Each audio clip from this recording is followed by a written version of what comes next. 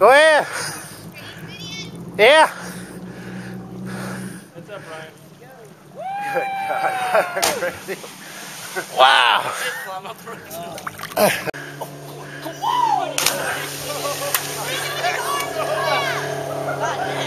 on.